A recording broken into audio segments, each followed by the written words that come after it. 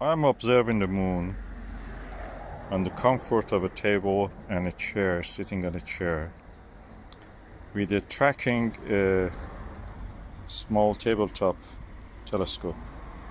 This is a Meade uh, ETX90, I think it's RC or CA or something like that. This is the old version. The mount is the old version. The tube is a new version, I think. I just married them together.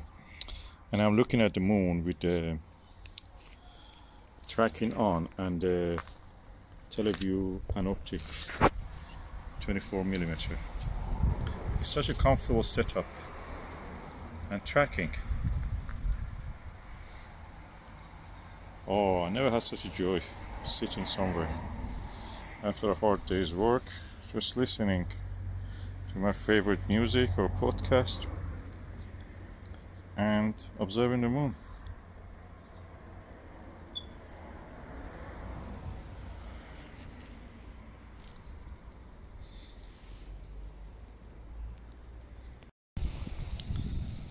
And let's look at the moon now.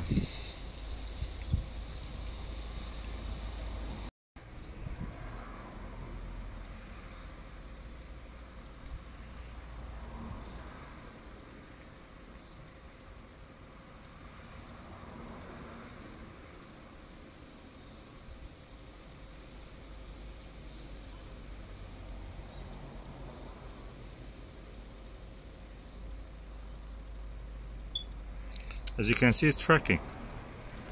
Tracking the moon.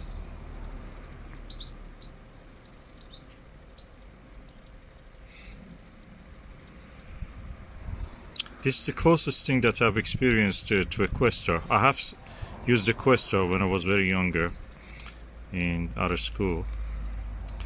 And uh, I have now a Questar filled version, but not the one that has a, uh, you know, clock drive and this one has a clock drive.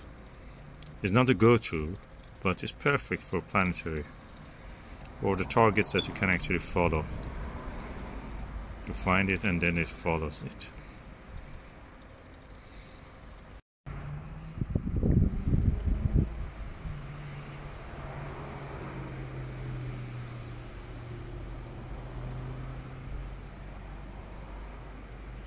and the accuracy of the tracking is depending on the mm, direction to the polar star.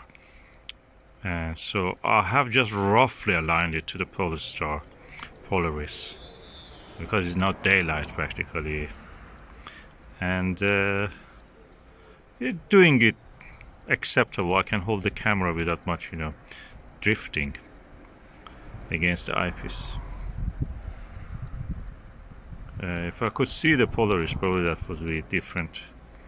And I'm also holding the telescope. This telescope is placed on a very wobbly picnic table, one of these folding ones. And that was the view to the TX90 tracking one, not go to one. I love this tracking one. You don't need, you can do it in the daylight, you can use it in daylight. So clever. Simple and clever. And that's the moon I was looking at.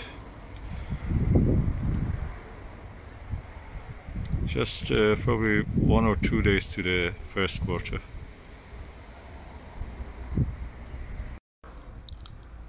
I'm now using the Skywatcher Nirvana, one of the most comfortable eyepieces I ever have seen. This is a 16 millimeter ones. The 16 millimeter one, which is eight, has an 82 degrees field of view.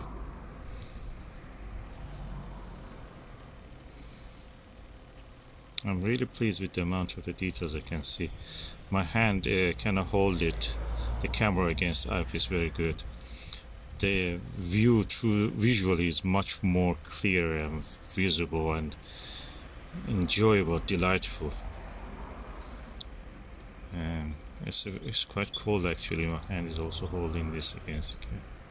You can see a slight drift, that's because the polar alignment is not accurate. I roughly pointed it toward the Polaris and this is the view that you could I was watching through this uh, eyepiece. One of my best comfortable eyepieces. I've not seen an 82 degree eyepiece so comfortable. I mean I have Nagler ones. Nagler ones are really difficult to use. They have such a tight eye relief. And when I used the first time this Nirvana Skywatcher Nirvana 16 degrees. Suddenly the muscles around my eye relieved. It was so comfortable.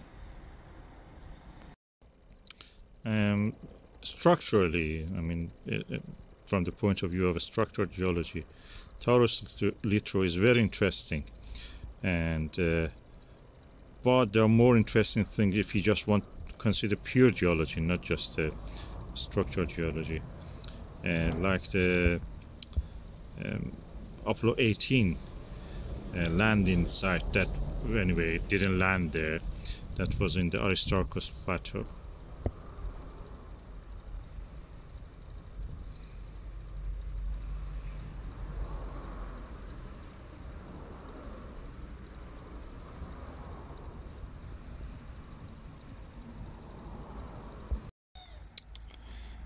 Okay, I found the source of the error in tracking actually.